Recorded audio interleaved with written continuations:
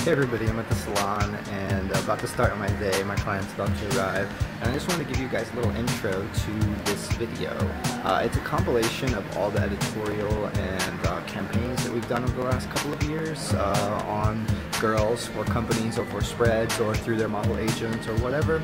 And we want to put it out there so you can enjoy it and hopefully you can get some inspiration from it. And also if you want to see any tutorials of any of the color or cuts or styles of any of the stuff, let us know. And we can totally do that for you.